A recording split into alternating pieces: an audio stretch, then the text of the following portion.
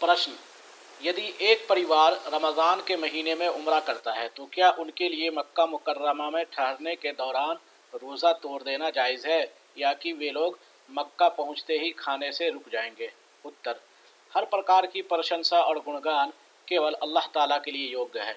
रमज़ान में उम्र करने वाला यदि दूर के नगरों, जैसे कि नजद या उसके अलावा से आया है तो वह मुसाफिर है। वह रास्ते में रोज़ा नहीं रखेगा, चाहे वो रियाज से आया हो या कसीम से, या हाइल से या मदीना से। उसके लिए रास्ते में और मक्का में रोज़ा तोड़ देना, यानी रोज़ा न रखना जायज़ है।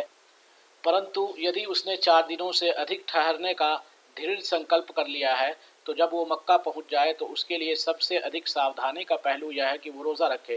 तथा सबसे अच्छा भी यही है कि वे रोज़ा रखें, क्योंकि जमहूर विद्वान का विचार यह है कि यदि उसने चार दिनों से अधिक ठहरने का पक्का और सच्चा संकल्प कर लिया है तो वो नमाज़ पूरी पड़ेगा और रोज़ा नहीं तोड़ेगा। लेकिन यदि उसका संकल्प दो दिन या तीन दिन या चार दिन ठहरने का है, इससे अधिक वो नहीं ठहरेगा तो उसके लिए रोज़ा तोड़ना भी जायज़ है और रोज़ा रखने की भी अनुमति है। उसके लिए चार रकत वाली नमाज़ों को कसर करके दो रकत पढ़ने की अनुमति है तथा उसके लिए लोगों के साथ चार रकत पढ़ना भी जायज़ है।